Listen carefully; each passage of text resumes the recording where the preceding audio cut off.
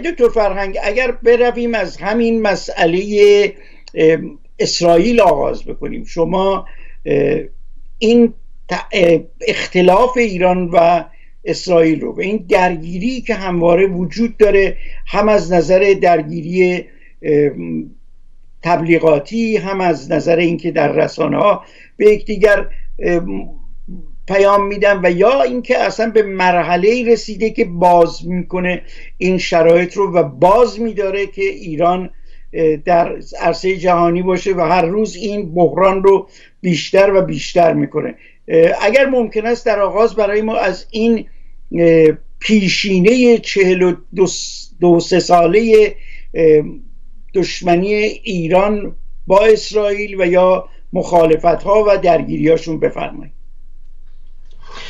اجازه بدید با این نکته شروع بکنم که دشمنی چهل و سه ساله جمهوری اسلامی و اسرائیل در جهان کنونی یعنی در روابط بین المللی بی‌نظیره.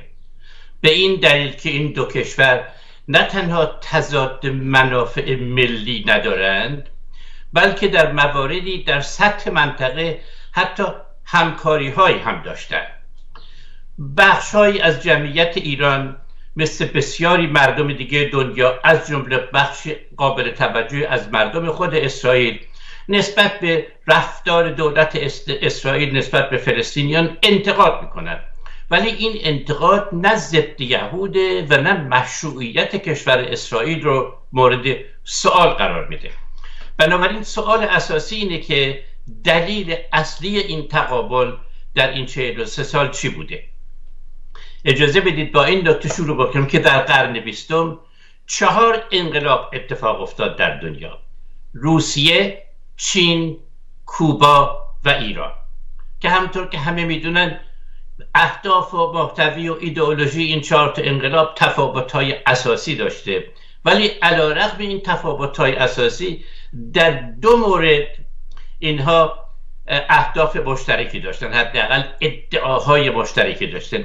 یکی به چالش کشیدن عرف و قواعد حاکم بر روابط بین المللی و یکی هم به رسالت صدور انقلاب رو داشتن. اون سه کشور به این نتیجه رسیدن که انقلاب حالا نیست که صادر بشه. ولی ایران بعد از چهل و سه سال هنوز این ماجرا رو ادامه میده. و نقش این دشمنی در رابطه با صدور انقلاب چیه؟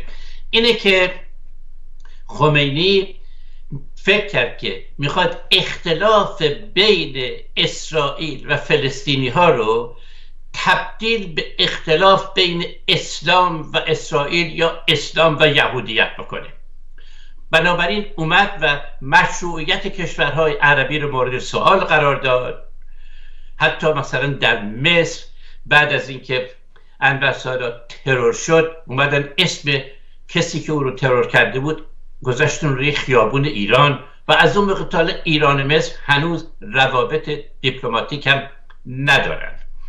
چرا می‌خواستن این کار بکنن؟ برنامه به اصطلاح صدور انقلاب ایران در منطقه خاورمیانه و کشورهای اسلامی این بود که بیان موضع ضد اسرائیلی بگیرن و از اون طریق بتونن توده های مردم عرب رو به اصطلاح خیابون عرب رو عرب استریت رو به خودشون جذب بکنن. چون احساسات انتقادآمیز نسبت به اسرائیل در توده های عرب وجود داشت در گذشته و هنوز هم تا حدودی وجود داره. ولی دولت ها نر نر به این نتیجه رسیده بودند که درگیری نظامی با اسرائیل به هیچ وجه نمی‌تونه مسئله ای رو حل بکنه و شروع کردن روابط عادی برقرار کردن. مصر و اردن روابط عادی دیپلماتیک با اسرائیل. ولی ایران این رو ادامه علت اینم که در اوائل امر این مسئله برای ایران جذابیت داشت اینه که در اوائل انقلاب این انقلاب اسلامی در منطقه خاورمیانه برای توده های مردم جذابیت داشت. بنابراین کاری که خمینی حدود این چهل و سه ساله خمینی شروع کرد و گفت اسرائیل دشمن اسلامه و خامنه ای اومد گفت که جانشین و اسرائیل سرطانه و جواب ناتانیاهو چی بود؟ جواب نتانیاهو این بود که الان سال 1938 و ایران آلمانه یعنی دقیقا اومدن تبلیغات ضد اسرائیلی ایران و نسبت به اسرائیل تشبیه کردند به تبلیغات نازی ها علیه یهودی ها و گفتن ما در برابر ایرانی قرار داریم که شبیه حزب نازی 1938 در آلمانه.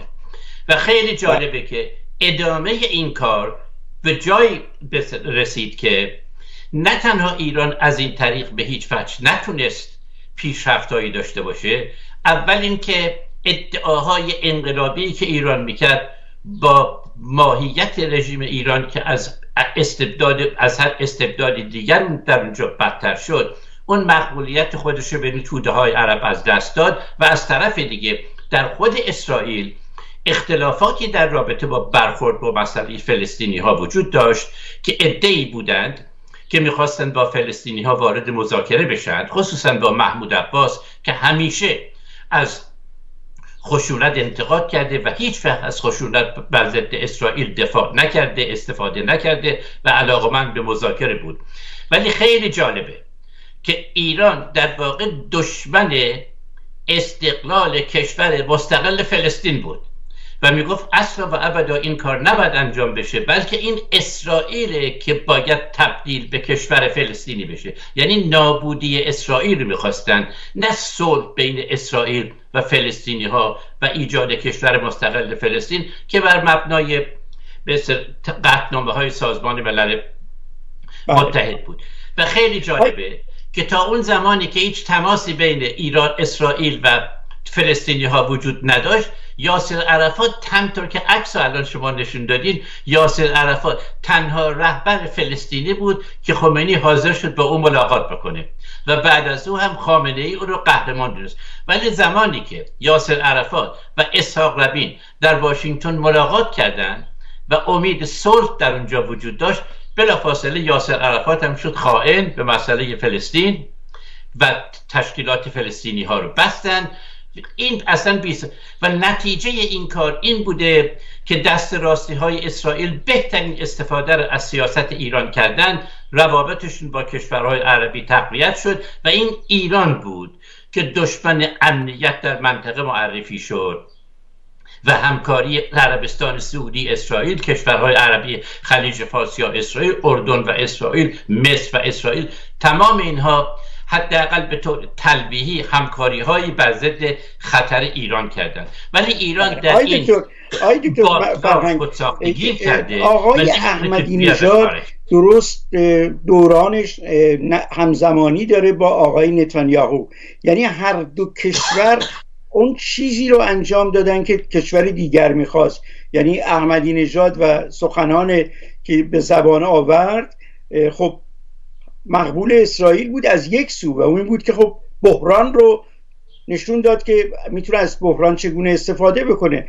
هر زمان که نتانیاهو اومد در سازمان ملل همین مسئله رو مطرح کرد. به این ترتیب هر دو کشور بخش دست راست و راستگراشون از این موقعیت درگیری با یکدیگر بهره بردن و به همدیگر تاختن و بحرانشون رو در درون کشور به نوعی حل کردن یا پیش بردن. آیا دکتر یه پرسشی در اینجا مطرحه. وقتی که آقای خمینی میاد و با اسرائیل این برخورد رو می‌کنه و یا پس از اون جانشینش آقای خامنه ای ما در اسرائیل و در بین فلسطینی ها شاهد شکلگیری حماس و دیگران هستیم. یعنی دیگه مسئله سازمان الفتح و این داستان ها از پیش رو میره کنار و حماس قدرت می‌گیره. در لبنان حزب الله رو بهش پول چرا این حرکت سیاسی در ایران این گونه رخ میده و اینقدر سریع جابجا جا میشه؟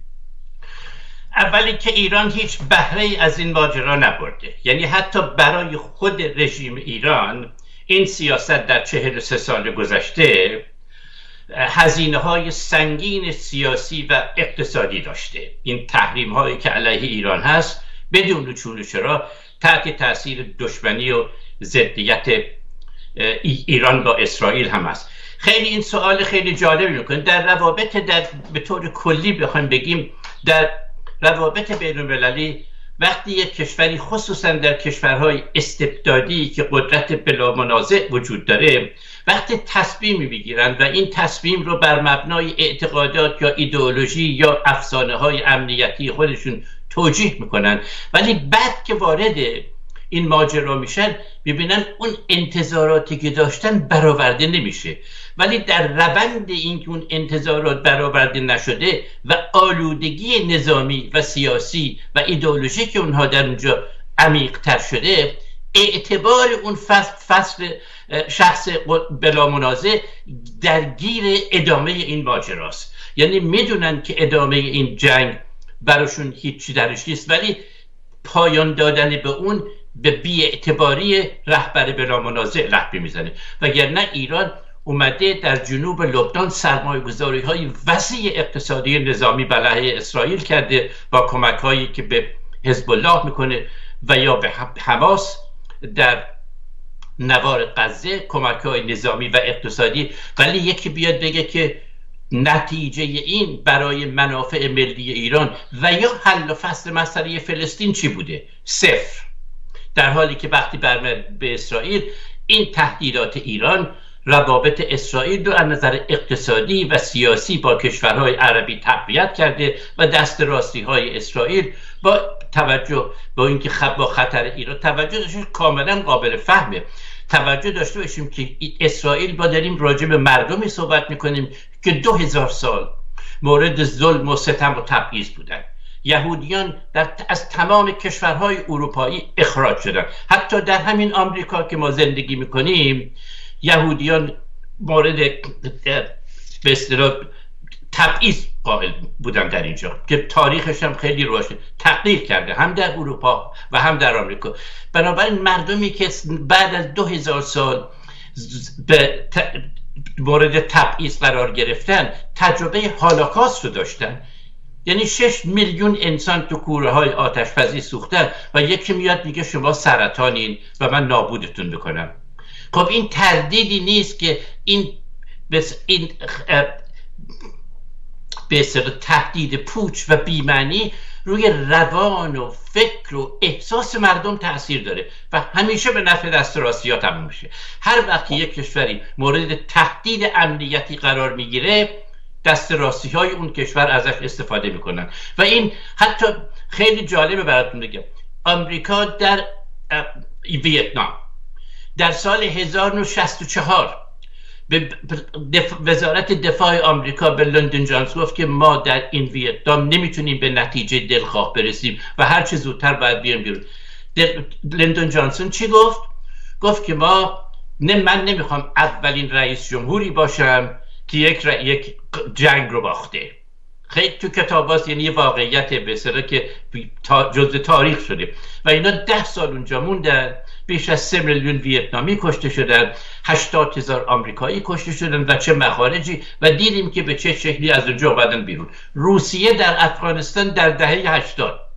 یعنی این دقیقا همون مصیبتی که سر خامنه ای و شرکا و خمینی اومده. خب خمینی و خامنه و شرکا در اسرائیل اومده. اون کشورها بودن ولی به هر حال به جایی رسیدن که بعد از ده سال ادامه این ماجرا به نفعشون نیست. در حالی که در ایران به دلیل استبداد اسلامی و به دلیل بلاز منازع بودن رهبر امروز چهل و سه ساله که ادامه داره مخارج بسیار سنگین و انزوای وحشتناک سیاسی اقتصادی ایران ولی این ماجرا ادامه داره. بنابراین ایران تحت هیچ عنوانی و به هیچ شکلی هیچ نوع دستاوردی در این ماجرا نداشته در حالی که دست راستی های اسرائیل مسئله فلسطین رو به حاشیه بردن با کشورهای عربی روابط خوب برقرار کردن ایران رو دشمن اصلی امنیت منطقه قلم داد کردن و این ماجرا ادامه داره. و این و امروز هم که قدرت اسرائیل از نظر نظامی و امنیتی و اطلاعاتی قابل مقایسه با جمهوری اسلامی نیست. آقای دکتر این وقتی به امروز میاییم از گذشته رو شما باز کردین و این روند ادامه دار رو بهش اشاره کردین همکنون پس از اینکه این برجام به نوعی در جای خودش داره در جا می‌زنه و به سرانجامی نمی‌رسه. اسرائیل که پیش از این پلان بی خودش رو به آمریکا داده بود حالا بر روی اون بیشتر پافشاری می‌کنه.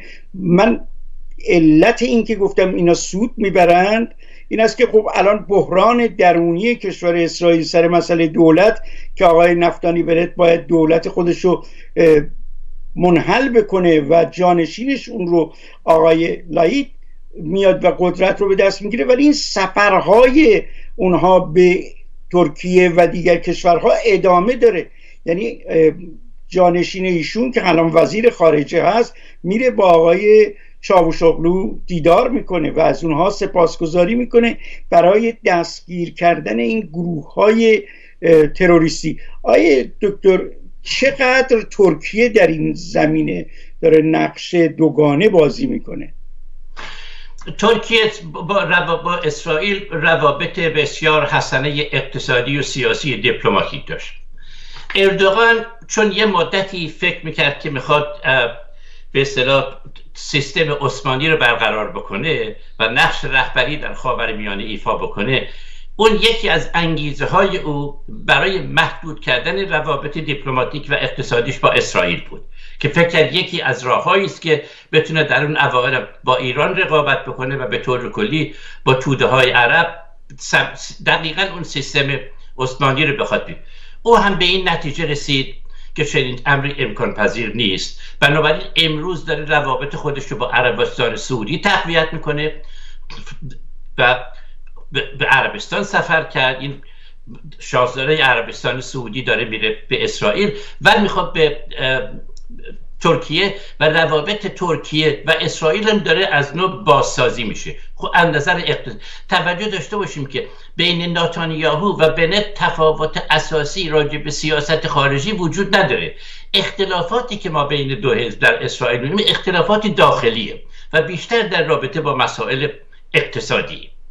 بدون چونش وگرنه از سیاست خارجی کوچکترین تفاوتی با هم دیگه ندارن. اینه که امروز ترکیه از ترکیه سیاست خارجی به اصطلاح پراگماتیک و یا عملگرای انتخاب کرده.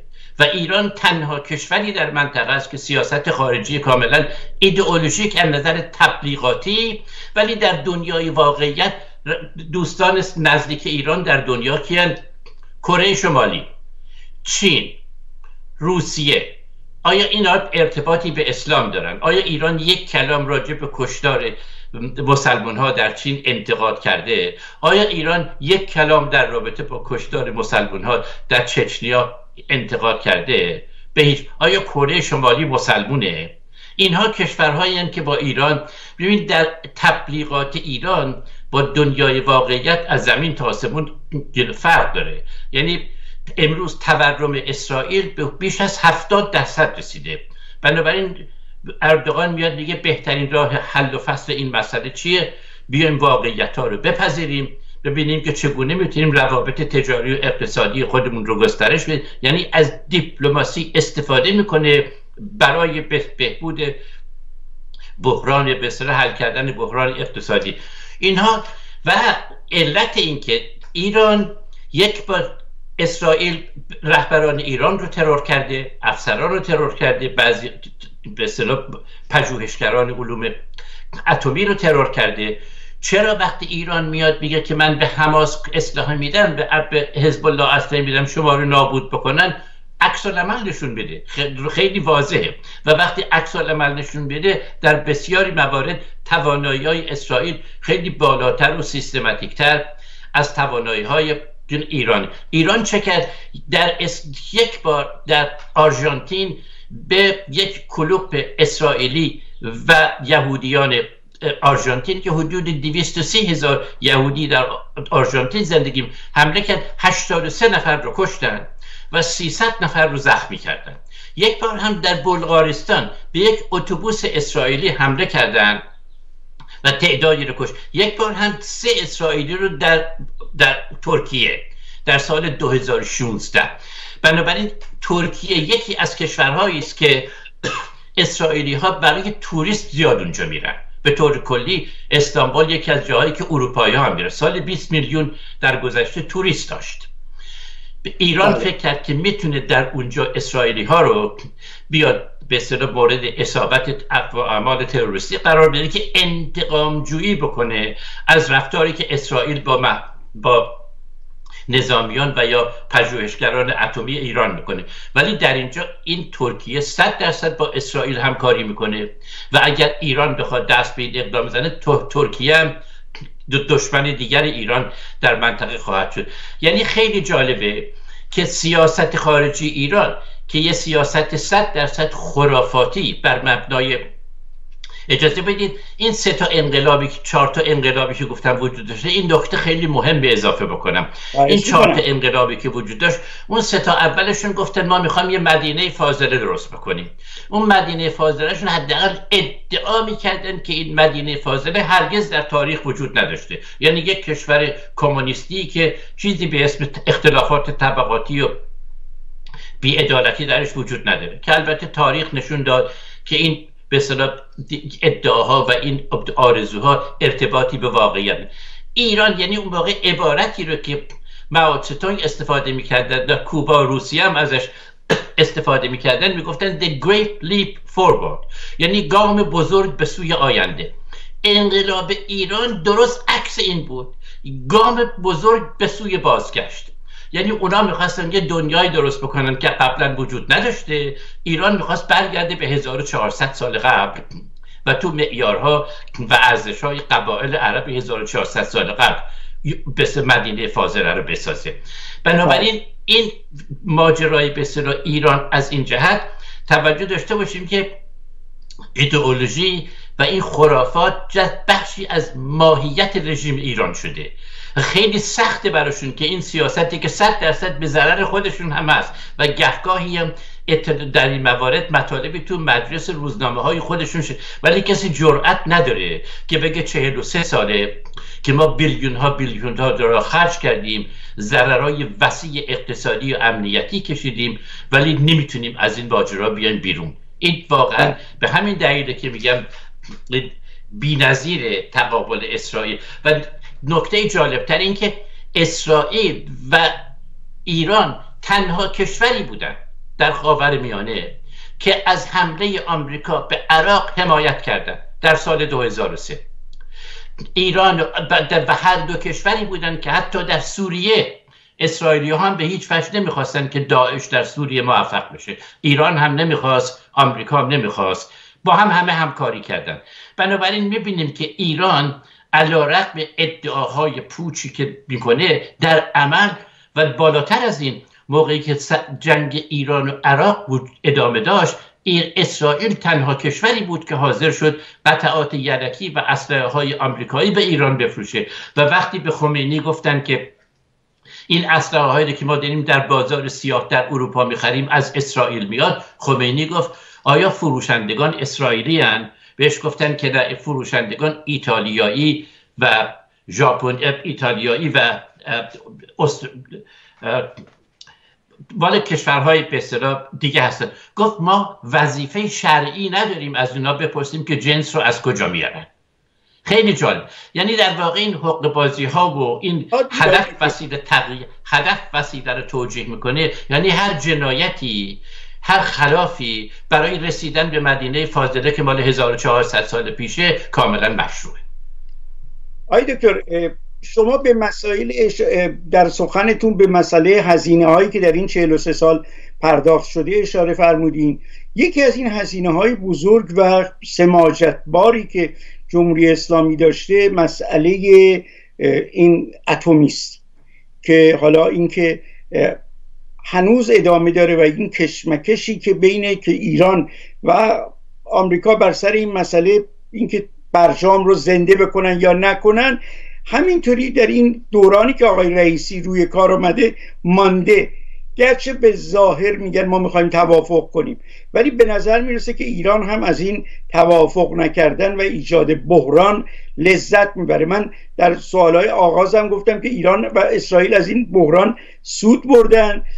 البته بخوام بگم که از این بحران به یه نوعی دارن استفاده می‌کنن. یعنی ایران بعدش نمیاد که این بحران وجود داشته باشه و گفتگوها به نتیجه نرسه. نظر شما رو باره این سفر نماینده اتحادیه اروپا به طور مستقیم به ایران آقای جوزف برویل و این پیش از اون چند روز پیشش آقای لاوروف رفتن به ایران آیا هیچ نقطه ای امیدی برای اینکه برجام انجام بشه و به مرحله پایانی برسه؟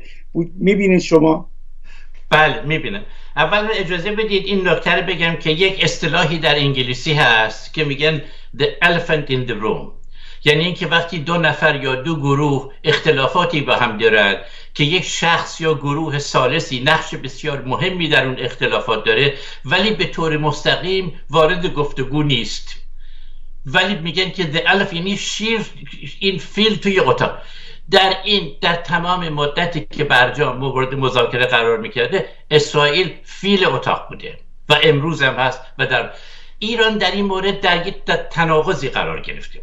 ایران مشکلات وسیع معیشتی داره خصوصا مشکلات معیشتی که از اون بخش هایی از جامعه میاد که به دلیل اعتقادات مذهبی رژیم فکر می‌کرده که می‌تونه اینها رو کنترل بکنه و یا حتی بخشی از اونها رو بسیج بکنه. اگر ایران بخواد تقابل خودش رو با اسرائیل ادامه بده و بخواد برجام رو احیاط نکنه تحریم های سیاسی علیه ایران گسترش پیدا می‌کنه. و اگر و اگر ایران در کنار اینکه برجام رو احیا نکنه می‌خواد در جهت کسب توانایی بالقوه برای ساختن سلاح هسته ای پیش بره. یعنی اورانیوم غنی سوزری که امروز به 60 درصد رسونده بتونه به 90 درصد برسونه به احتمال قریب به یقین به ایران حمله نظامی خواهد شد.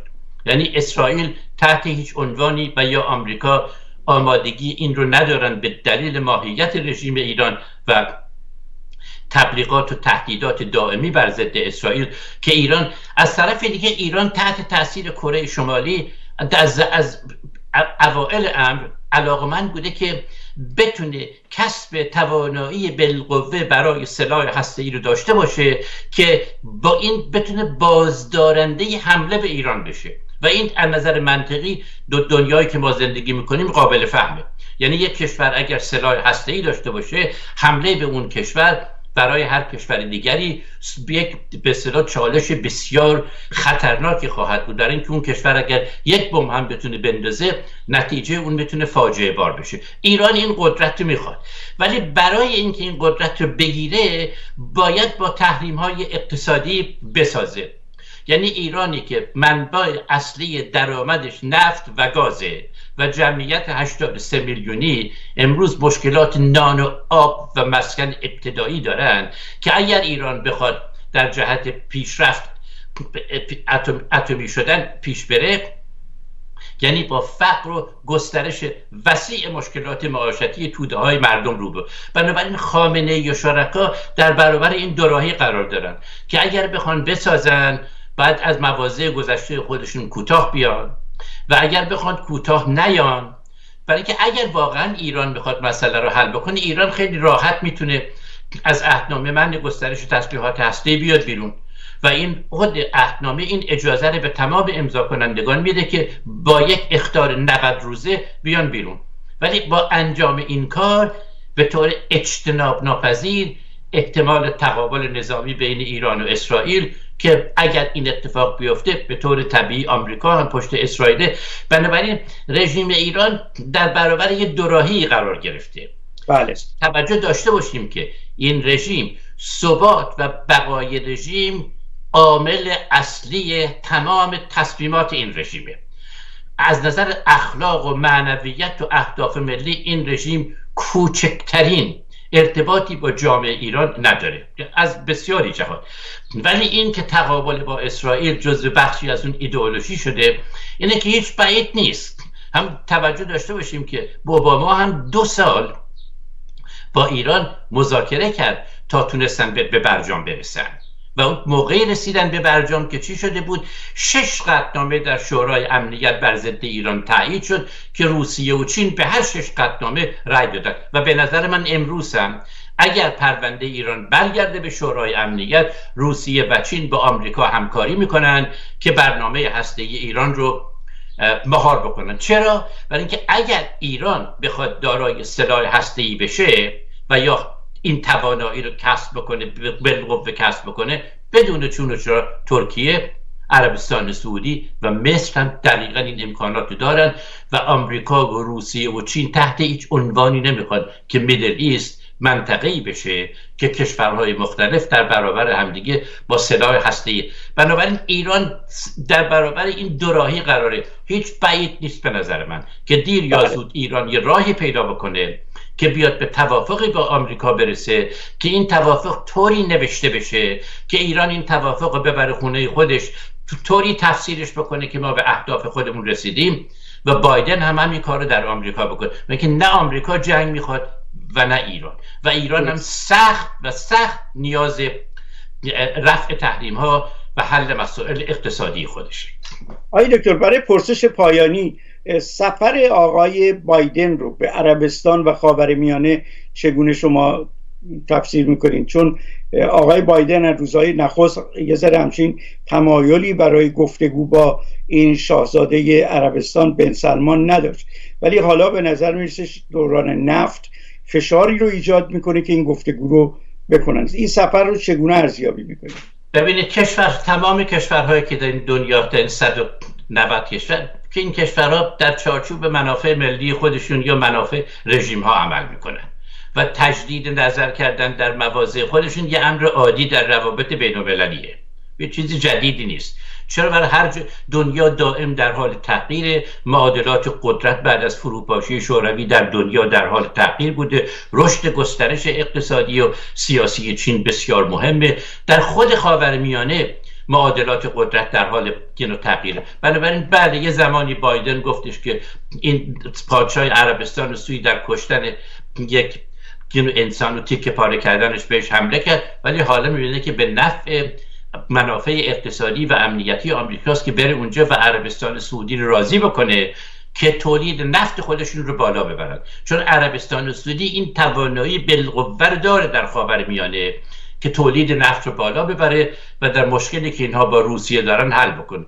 هیچ امر غیر عادی نیست که آقای بایدن نظرش رو عوض بکنه و عربستان سعودی امروز بزرگترین بازار اسلحه آمریکا سراسر خاور. یه خدمت بزرگ دیگری که ایران به اسلحه سازان آمریکا کرده این موضع ناامنی رو که در منطقه کرده فروش اسلحه رو در منطقه برده بالا. هم برای روسیه هم برای آمریکا هم برای چین و هم برای برزیل و هم بسیاری کشورهای دیگه. الان خاورمیانه شده بازار بزرگ اسلحه برای تمام اسلحه سازان دنیا و خمینی و خامنه و شرکا صحبت از بهشت و جهنم و این محملات می‌کنن و فکر می‌کنن که مهم نیست شهید میشن میرن تو بهش واقعا یه دنیای عجیب و غریبه یه سری مجانین مجانین بر عریکه قدرت بهترین توصیفیه که ما برای رژیم یعنی زر و زور و تصویر زرشون نفته زورشون سپاه پاسدارانه تصویرشون هم خرافات و افسانه های مذهبیه. با این سیستم دارن حکومت می‌کنن. کی به سر تردیدی نیست که سرشون به دیوار می‌خوره و مزبهل میشن ولی متاسفانه تاریخ به ما اجازه نمیده که بگیم کی و چگونه. بله. سپاسگزارم آقای دکتر از حضورتون در برنامه مانند همیشه بسیار آموزنده و آگاهی دهنده بود. خیلی متشکرم. مرسی.